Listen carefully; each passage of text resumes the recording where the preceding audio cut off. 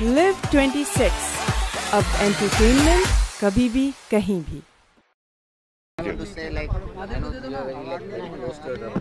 हाँ जी हाँ जी। हाँ जी। आ, बिल्कुल मैं बहुत एक्साइटेड हूँ आज यहाँ पे मुंबई में एक्चुअली हिंदुस्तान में पहली बार रग्बी की ट्रॉफी आई है तरह कि आप लोग देख रहे हैं। It's the actual rugby world cup trophy made of gold sparkling looks lovely तो मैं बहुत एक्साइटेड हूँ क्योंकि मैं बचपन में रग्बी खेलता था। आ, मेरे जो इनिशियल आप कहोगे जो ईयर्स थे जिसका मुझे आज भी फिटनेस का जुनून और पैशन है वो सब रग्बी की बदौलत है। आ, क्योंकि मेरे दिल्ली में मैं एक क्लब की तरफ़ से खेलता था रग्बी दिल्ली हरिकन्स और मेरे कोच हैं कुलदीप भिस्ट जी जिन्होंने मुझे इस स्पोर्ट में डाला और I think it's it's the most thrilling sport contact sport it's it fitness oriented and I am hoping कि इंडिया टीम मेहनत करके अगले साल जो जापान में वर्ल्ड कप है जो भी पहली बार एशिया में वर्ल्ड कप हो रहा है रग्बी का उसमें इंडिया पार्टिसिपेट करे और खेले and will be cheering for India okay sir India में तो बहुत सारे ऐसे गेम्स हैं जो बहुत ही अप्रिशिएट किया जाता है जैसे क्रिकेट हो गया अभी हाँ। कबड्डी हो गई बट हाँ। हम्म। रग्बी को इतना महत्व नहीं दी जाती है तो उसके बारे में क्या कहना चाहिए वही रग्बी नई स्पोर्ट है आ, तो आज मैं यहाँ पे रग्बी को प्रमोट करने आया हूँ क्योंकि आज खुद जो रग्बी फेडरेशन है आ, हिंदुस्तान में बम्बई में इस कप को यहाँ लेके आई है कि हमारे आ, बच्चे और लड़कियाँ लड़का लड़की दोनों खेले स्पोर्ट को। आई थिंक इसमें जो फिटनेस की ज़रूरत है it is second to you know no other sport because आप कांटेक्ट भी कर रहे हैं, आप स्प्रिंट भी कर रहे हैं, आप, आपको वेट्स भी उठाने हैं।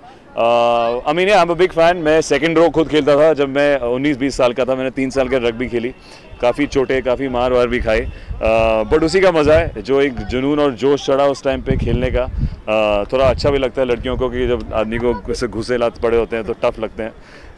बट आज uh, काश मैं खेल पाता अभी टाइम नहीं मिलता है मुझे। Uh, पर मैं बहुत एक्साइटेड हूँ कि जैसे बच्चे लोग खेल रहे हैं पीछे आज। Uh, ये लोग सब एक एनजीओ से भी है। और मैं जब भी दिल्ली जाता हूँ तो मैं देखता हूँ कि वहाँ पे अवेयरनेस बढ़ रही है। पर हाँ हिंदुस्तान के एक लेवल पे रग्बी को इतना शायद अपॉर्चुनिटी नहीं मिली हो। तो आज वही कोशिश है कि लोग रग्बी देखें समझें और होपफुली इसके फैंस बने हैं कि आगे जाके हिंदुस्तान भी आगे खेले रग्बी ओके okay, आप जैसे कि आप कॉलेज टाइम में बहुत ही खेलते थे हम्म। और हमने सुना है कि आप तब बहुत हेल्दी भी थे। हाँ तब मैं से थोड़ा भारी भरकम था और तभी मज़ा आता था लोगों को टैकल करने में और सेकंड रो स्क्वाट वॉट मार के डंड बैट अब काम की बदौलत रोल के हिसाब से प्रिपेयर करना पड़ता है। तो तब मैं खाना भी बहुत खाता था और टाइम भी बहुत मिलता था।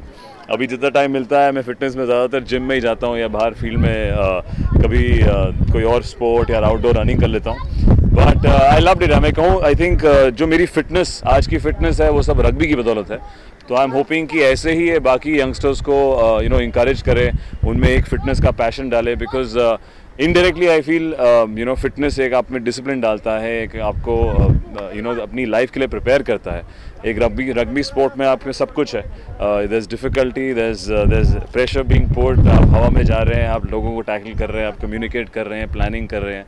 तो आई थिंक लाइफ के सारे इमोशंस एक रग्बी गेम में आप समेट सकते हैं। सो so, बहुत कुछ सीखा है और कोशिश कर रहे हैं कि इंडिया जीते आगे और खेले क्या आप क्या आप मौका मिलेगा अभी खेलने के लिए फिटनेस विटनेस करना पड़ेगा। मैं पीछे शायद बैक्स खेलूँगा फॉरवर्ड्स नहीं खेलूँगा, क्योंकि वज़न कम है थोड़ा। बट ज़रूर टच रग्बी खेल लेंगे, अगर कॉन्टैक्ट ना खेले तो। हालाँकि काफ़ी साल हो गए प्रैक्टिस करे हुए। बट मैं बहुत एक्साइटेड हूँ कि आज मैं वापस एक फ़ील्ड में हूँ रग्बी फ़ील्ड में हूँ।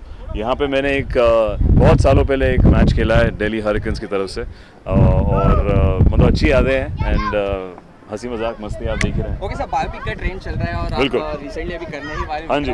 तो उसके बारे में आप कुछ कहना चाहेंगे या आई थिंक नहीं अभी तो शुरू करेंगे हम लोग। अभी हम लोग एक और पिक्चर कर रहे हैं uh, एक बालाजी की लव स्टोरी है uh, जिसमें मैं और परिणीति चोपड़ा है uh, जो हम अगले दो दिन में शुरू करने वाले हैं लखनऊ में। उसका हम टाइटल और पूरा अनाउंस करेंगे बहुत जल्द। और उसके बाद एक बायोपिक है जो विक्रम बत्रा इसकी आप बात कर रहे हैं। Very tough role I think मेरी ज़िंदगी का सबसे टफ रोल है uh, काफ़ी प्रेपरेशन जारी है जितना मैं करूँ उतना कम बिकॉज़ आई फील एक इमोशनल रिस्पॉन्सिबिलिटी है क्योंकि जब वो फैमिली आई थी मिस्टर विक्रम बत्रा जी की फैमिली हमारे पास कि उन्होंने अ, वो देखते हैं कि मैं शायद वो रोल प्ले कर सकूँ अ, तो बहुत ही एक एक रिस्पॉन्सिबिलिटी होती है उनकी कहानी को दर्शाना बड़े पर्दे पे। और मुझे कम से कम ढाई से तीन साल लग गए इस पिक्चर को सेटअप करने में स्क्रिप्ट सेशंस में और यू नो प्रोड्यूसर्स ढूँढने में। और आज जब धर्मा प्रोडक्शन इन्वॉल्व हुआ है इसमें और हमारे पास बहुत अच्छे डायरेक्टर भी हैं तो हम बहुत एक्साइटेड हैं। कुछ ही महीनों में शूटिंग शुरू होगी। सो प्रिपरेशन जारी है and hopefully we'll have a very good film?